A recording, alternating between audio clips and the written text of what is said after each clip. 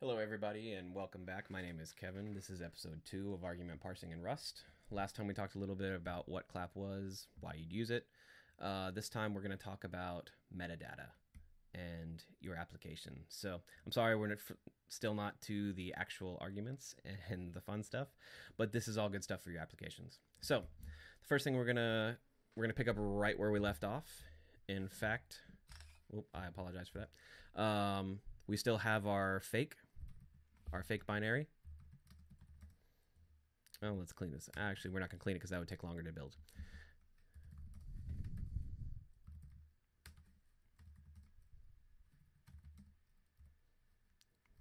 Let's try this again. There we go. Alrighty. So you can see we still just have clap as a dependency. We're only using the App struct right now. And we're going to add some metadata to this. So if we go back up, you've seen the repository. If we use the new docs.rs website and we go to clap, you'll see all of the generated documentation. This first part is really just a repeat of the README, so we can skip all of that. And we go down to the App struct. Now, usually when I'm reading any documentation, the very first thing I do is collapse it all down so I can see the methods. If you want to see an explanation of what the App struct is, how to use it, that's all there. Now, if we look, there's quite a bit, there's quite a few methods. Uh, some of these have to do with some things that we're not going to talk about in this video. We will get to in future videos. So the first things that we're concerned with is things like the author, about, uh, before and after help, the version, usage, things of that nature, things that are metadata about your application. So let's just go down the list and start talking about it. Um, we've got our author here. And this sets a string to be used as the author in your help message. Now, it doesn't, I know it says author singular, um, but it's just a string. It could be literally whatever you wanted it to be. So we're going to add that here. And so that I'm not having to tab so far over, we're just going to use one tab.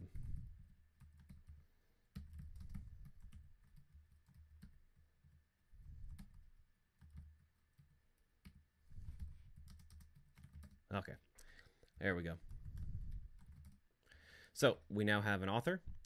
There is something we can do where we can pull the authors array out of our cargo.toml, which is awesome because we may, you know, that may change from time to time. And me personally, I don't like having to go back and re update all these things all the time. Uh, now, the authors may not change that frequently, but still, it's something that we can do automatically. The way we would do that is there's a few macros defined by clap. So we can do macro use. If we go back down into the documentation, let's go back one level. You should see under the macros, there is a crate authors macro. Now, if we check this, all we have to do literally is copy this line right here. So instead of Kevin K,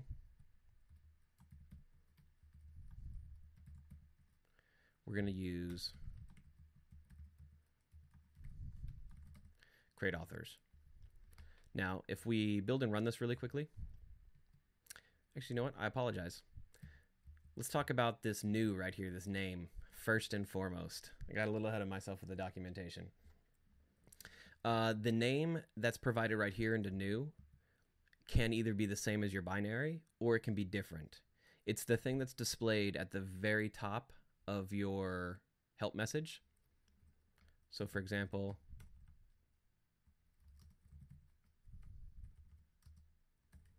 um, I'm very used to hitting F12, and I'm trying to use this one down here for you guys. So, when we run our it's the very first thing that's right here. It can be the same as your binary, or it can be different. I'm going to open up a new tab so I can scroll back and forth between them. So here we have it matching. Fake is our binary and fake is also our application name. We could change this to something like, uh, you know, my awesome fake application. Now, why would you want to do something like that? Uh, if you want your help message to be displayed a little bit differently,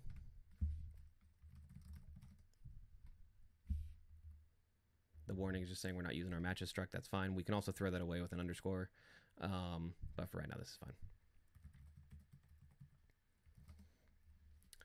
You can see now my fake awesome or my awesome fake application, and it's also pulled in uh, from our cargo.toml it's pulled in the author with that background. So two for one in this one. Um, some people like to use the binary name. Some people like to use, uh, you know, totally different name for the help message. Totally up to you guys which uh, which one you use. So beyond the author, the next thing down the line was, I believe, go back to structs. Beyond the author, bin name is a special one, so we're going to come back to that one. Now we have the about. The about is the string that's going to appear right below right below your authors. So, you know, usually just short, short blurb, this is what my application does, this is how you use it, blah, blah, blah.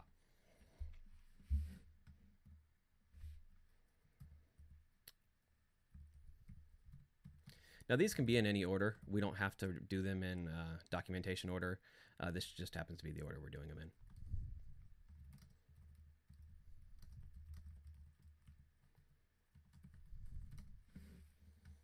Let's rerun this real quick.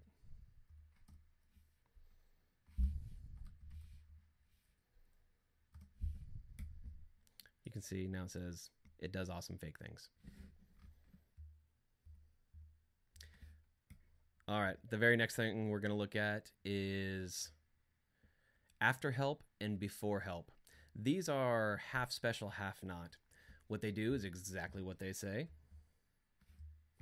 They write something either before the help message or directly after the help message. A lot of people use these for things like uh, copyright notices. Um, the after help is a lot of times used for additional informations about the arguments because sometimes your argument string you don't want it to be too long. Now clap will wrap it appropriately, um, but you still don't want it to be too long. Um, so a lot of times they'll put additional information down at the bottom. Let's do something really quickly in the before help and after help just as a quick demo.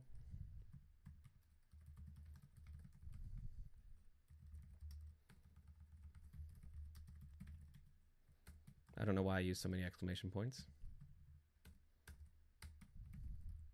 Whoop.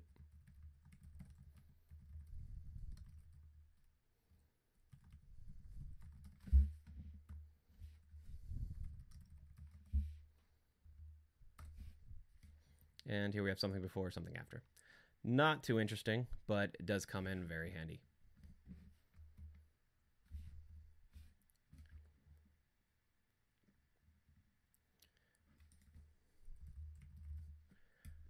All right, now moving on down, our version. This is a pretty important one. Obviously, it could be something like v2.1, v1.2. I usually put it up at the top, just out of habit because it's usually something you'll include even if you don't include the other stuff about after help, you know, things like that. Uh, so the version could just be a string. And now this is literally anything you want. It doesn't have to be numbers. It doesn't have to be in any format, nothing like that. I could put ABC123 if I wanted to. Now, something to note, it will not put the V before this. So if you want that V, you do V1.2 or something along those lines. This will place this up at the top.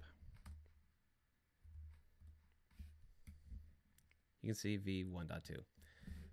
Like our crate authors, there's also a macro for that. We have crate version, and it'll pull the version out of our cargo.toml. Again, to use the macros inside of here, we have to put macro use before the extern crate.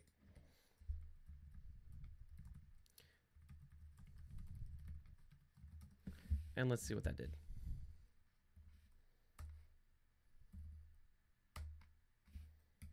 And here we have 0.1.0, which is exactly what's in our cargo.toml. Here you see 010. We can also combine these two and put a string, you know, make a format string, things of that nature. Uh, that would work just as well. Next, we have our usage. Usage is one of those, it's also somewhat of a special one. What it does is it overrides the usage string that's provided by Clap. Now, Clap does something special with its usage strings. It automatically parses your arguments, puts the required ones into the usage string, and then it also does some neat things on errors. Um, you're going to see this later in some later videos where if the user was trying to use an argument, let's just say arbitrarily dash A, and then that argument requires something that the user forgot to put, Clap will generate a usage string error and say, sorry, there was an error here, you forgot to put something. This is what you probably should have done in order to, or this is what you could have done to correct that. And it'll throw a new usage string out there, completely custom designed, that says, you know, dash A, dash whatever, whatever the user was trying to use. Um, I call those sort of smart usage strings or context sensitive usage strings. So uh, if you use this dot usage, it totally overrides that feature. You no longer get the smart or context sensitive usage strings. You only get the one that you'd provide here. So I recommend not using this unless you really want to use this unless you don't care about context sensitive um, usage strings. For example, I just copied it, but if we put, well, actually, let me show you real quick. The usage string that it provides is nothing because we don't actually have any arguments in there. But we can put a usage string in there.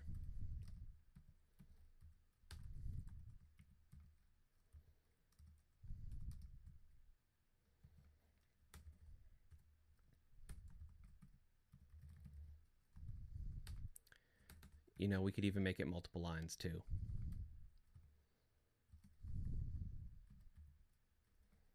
And I believe it's just one tab, so.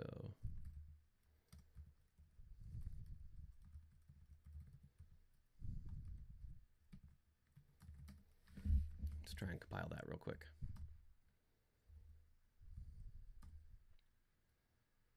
Oh, that's right. We're using four spaces, not tabs.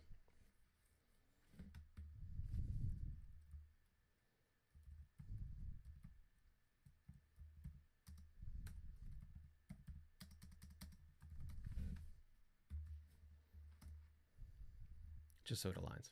All right, so we can have multiple usage strings. The problem is, again, whenever there's an error, it's only going to print out what you put here. It's no longer going to be that context sensitive one. So it's absolutely up to you um, which one you use. There's use cases, use cases for both. It's just something to be aware of when you're using it.